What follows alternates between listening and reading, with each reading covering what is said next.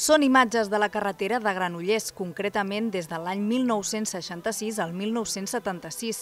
Es tracta del curt La carretera de Palou a Can Mònic, un film confeccionat a partir d'una selecció de quatre films de l'arxiu municipal.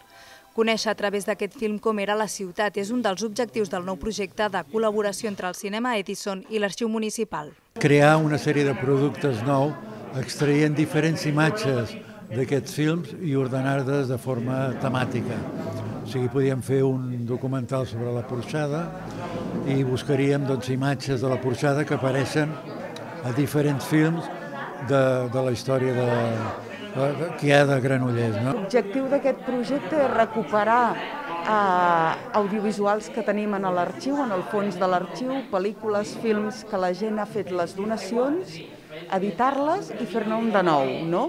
En aquest cas sobre un tema concret, que en el cas aquest ha sigut la carretera. Un altre dels objectius de l'Aliança és conèixer i promoure la sessió o donació de films per fer-lo més gran i augmentar el patrimoni documental de la ciutat.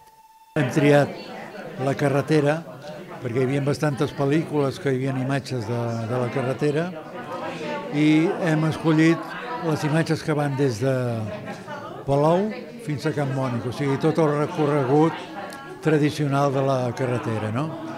I hem partit de quatre pel·lícules, dues de Josep Rovira Gallamí, una de Pere Ill i Jordi Mauri i una de Joan Corbera.